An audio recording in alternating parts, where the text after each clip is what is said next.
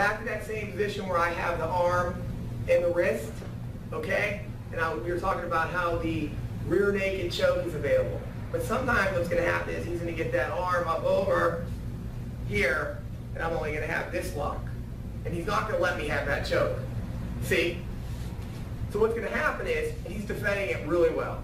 What's going to happen is I'm going to bring the arm over here and hook the same grip using the wrist in my own wrist. And from here, guys, all I'm going to do is step back, angle out, and you know what's coming next. The arm bar.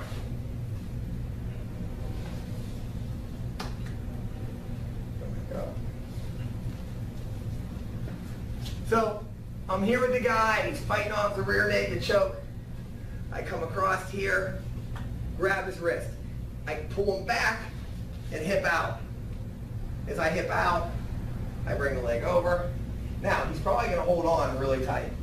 What I'm going to do is I'm going to come across, block. There's a variety of things I can do here. I can come here, use my foot, take his head, down this way, tackle that way.